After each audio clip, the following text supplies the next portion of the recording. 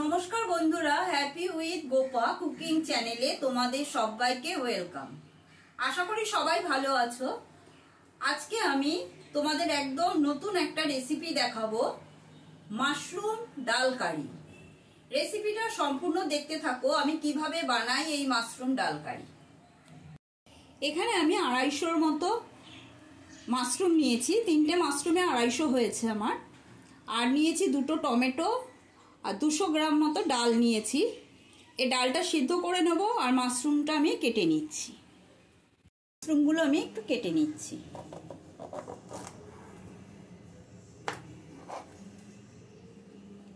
এরকমভাবে মাশরুমগুলো কেটে নিতে হবে। মাশরুমটা অল্প জলে আমি একটু নুন দিয়ে একটু ভাপিয়ে নেব হালকা করে। প্রেশার কুকারে আমি ডালটা সিদ্ধ বসিয়েছি। টমেটো, রসুন আর পেঁয়াজ সব আমি একবারে কুচিয়ে নেব। আজ রসুন, টমেটোটা কোচানো হয়ে গেছে। এদিকে ডালটাও আমার সিদ্ধ হয়ে গেছে। এখানে আমি অড়হর ডাল নিয়েছি। আর মাশরুমটাও একটু ভাপিয়ে, হালকা ভাপিয়ে নিয়েছি। কারণ মাশরুম ভাপিয়ে খাওয়াই ভালো। মাশরুমে যদি কোনো জীবাণু থাকে, সেই জীবাণুটা গরম জলের সাথে বেরিয়ে যাবে। এবারে আমি মাশরুমটা একটু তেলে ভেজে নেব। চালিয়ে আমি একটা কড়াই বসিয়ে নিলাম। এবার আমি কড়াইতে কিছুটা সর্ষের তেল দিয়ে দিলাম। সর্ষের তেল, সর্ষের তেলের মধ্যে এবারে আমি মাশরুমগুলো একটু ভেজে নেব।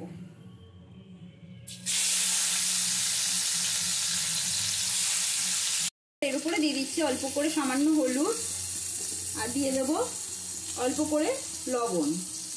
দিয়ে এটা একটু ভেজে নেব, এক মিনিট মতো।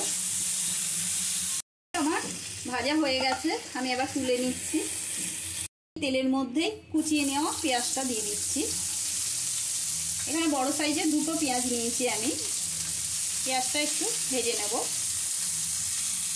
আমার হালকা ভাজা হয়ে গেছে, পেঁয়াজ ভাজা থেকে গন্ধ বেরিয়ে গেছে।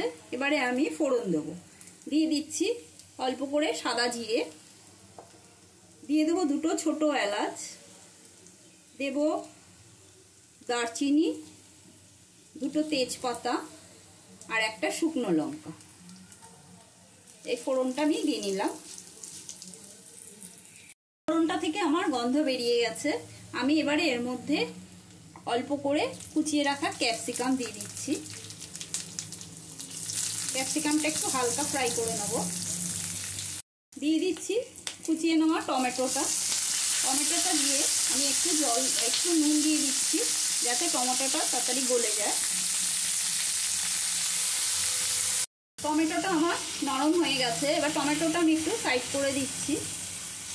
দিয়ে এবারে এই তেলের মধ্যেই আমি দিয়ে দিচ্ছি রসুন কুচি। রসুন কুচিটাও একটু ভেজে নেব। রসুনটা আমার ভাজা হয়ে গেছে। এবার আমি সব মশলাটা মিশিয়ে দিচ্ছি। এবারে আমি এর মধ্যে দিয়ে দেবো জিরে গুঁড়ো। দিয়ে দিচ্ছি এক স্পুন জিরে গুঁড়ো। দেবো এক চা চামচ জিরে গুঁড়ো। আর দিয়ে দিচ্ছি, এই সরি, ধনে গুঁড়ো। আর দিয়ে দিচ্ছি হলুদ গুঁড়ো। দিয়ে দেবো কাঁচা লঙ্কা পেস্ট। দিয়ে একটু জল দিয়ে মশলাটা আমি কষিয়ে নেব।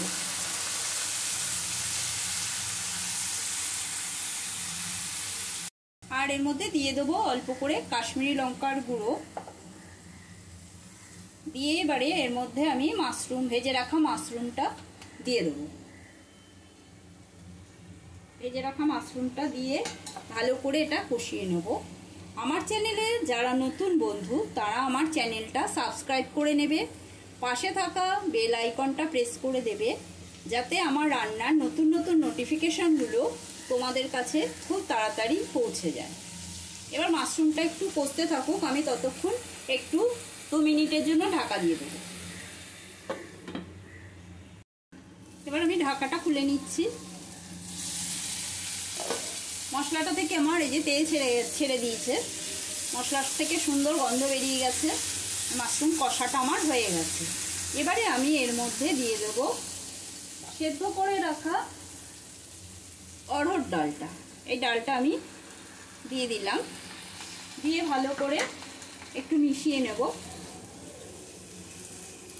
এটা, এই রান্নাটা করে গরম গরম ভাত, রুটি, পরোটার সাথে খেয়ে দেখবে খুব ভালো লাগবে। এবারে একটু জল দিচ্ছি, অল্প করে দিয়ে আবারও দু মিনিটের জন্য আমি ঢেকে দিচ্ছি।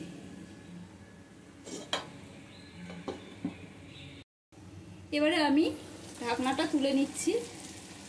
খুব সুন্দর গন্ধ বেরিয়েছে। এই রান্নাটা আমি অরড় ডাল দিয়ে করেছি।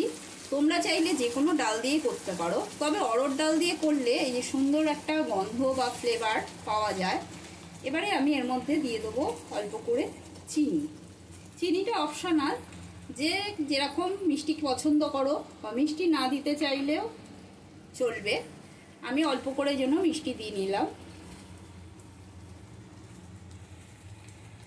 এবারে আমি এর মধ্যে দিয়ে দিচ্ছি গরম মশলার গুঁড়ো। আমি এই রান্নাটায় আদার ব্যবহার করিনি। তোমরা চাইলে আদার ব্যবহার করতে পারো। আমার এর মধ্যে আদাটা ভালো লাগে না। সেই জন্য আদাটা দিলাম না। ও সরি আবার ঘি দিয়ে দিয়েছি আমি। এর মধ্যে হাফ চামচ ঘি দিয়ে দিলাম।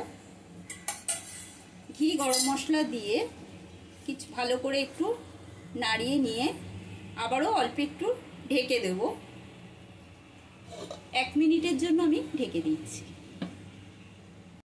মা, আমার মাশরুম ডাল কারি রেসিপিটা কমপ্লিট রেসিপিটা তোমাদের অবশ্যই ভালো লেগেছে নিশ্চয়ই। ভালো লাগলে আমাকে কমেন্ট করে অবশ্য অবশ্য করেই জানাবে লাইক করবে, বেশি বেশি করে শেয়ার করবে। এবারে একটু টেস্ট করে দেখছি।